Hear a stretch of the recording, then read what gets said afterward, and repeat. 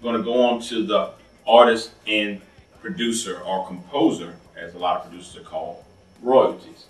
With artist producer royalties, it really depends on the kind of contract, as far as the artist half of it, that the artist gets paid.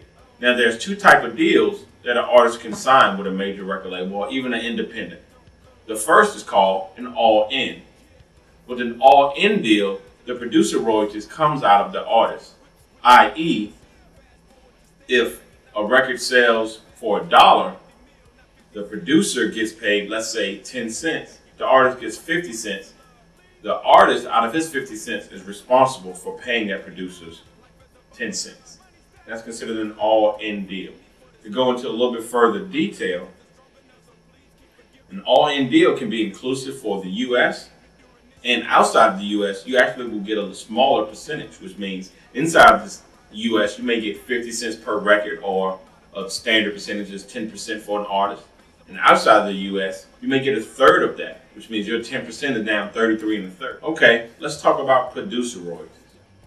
Producer royalties, even in the all-in deal, is normally roughly 3%, or we'll give an example of 10 cents a disc.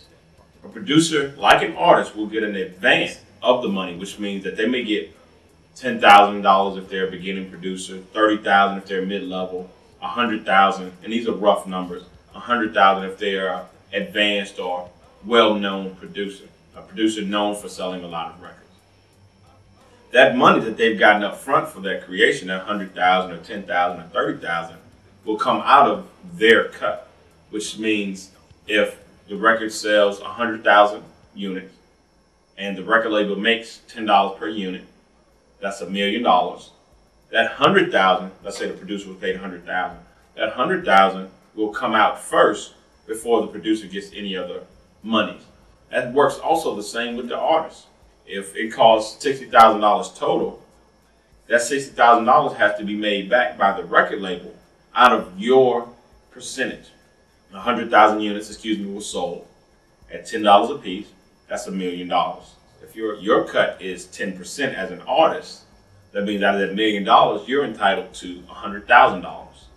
If the expenses of making the record were $60,000, now that $60,000 has to be subtracted from your $100,000, which means that your cut would be $40,000. Now, in an all-in deal, you may owe the producer 10 cents per record. That 10 cents of 100,000 units is $10,000.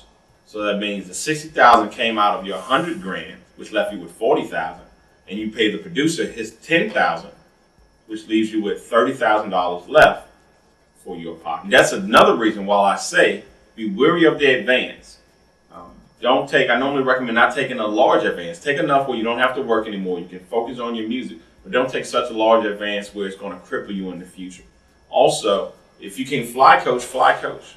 If you don't have to take a limousine, don't take a limousine and keep your initial cost as low as possible. You definitely want to keep your initial cost as low as possible. And if you can pay for it yourself, even better.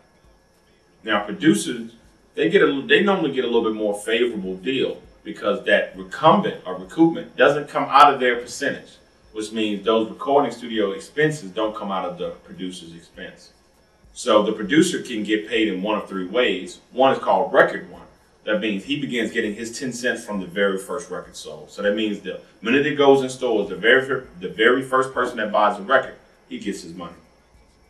The other way is perspective, which means the record, he doesn't get his 10 cents from the very first record sold. The record has to make its recumbent, which means if they cost, if it costs $60,000 to make the record, they have to, the record label has to get that $60,000 back out of the artist's percent. Once again, we're talking about an all-in deal, of the artist's percent. And then he gets his 10 cents per record. And then there's the retroactive deal. With the retroactive deal, what that means is, just like the prospective deal, the producer has to have his recumbent paid. The money that the record label put into the project has to be paid. Um, they have to make their money back out of the artist's percentage and then the producer gets his 10 cents. But unlike the prospective deal, he gets his 10 cents from that record on and then begin collecting the 10 cents from the record that have already sold. So it kind of goes back in time to the records that have already sold and he gets the 10 cents off of those along with the 10 cents from the records from that point on after they've collected their money. Okay, now we're going to go into escalations, and this deals with the artist. Escalation means that after the record has sold, let's say 500,000 copies, the artist may no longer get his 10% or 50 cents a record. He may now get 11%. Then after a million records sold, it may escalate up to 12%, which means they're rewarding him for making a hot selling or a high selling record.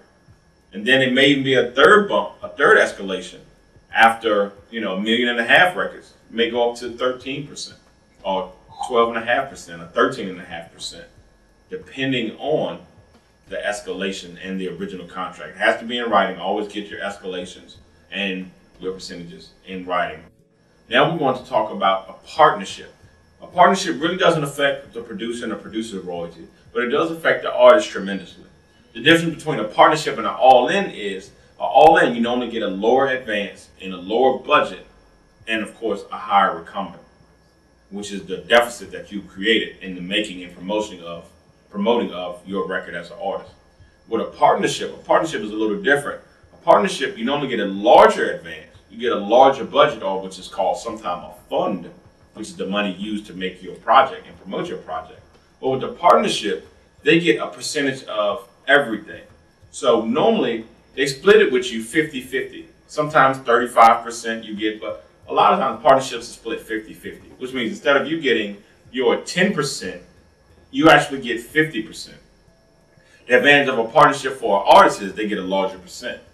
The advantage of a partnership for a record label is that they not only get a percentage or money from the sale of a record like they would with an all in, but they get the sales and money from everything that you make money off of as an artist. T-shirts, caps, paraphernalia, basically anything you make money from, they get half of. It's beneficial to them because they feel like there's more avenues for them to make money. A lot of times it's beneficial for you because you get a larger piece of the record label sale, the record sale pie. All right, I think we've covered uh, all we're going to cover today. Thanks for listening. I'm Johnny Nomega, and remember, dreams can come true.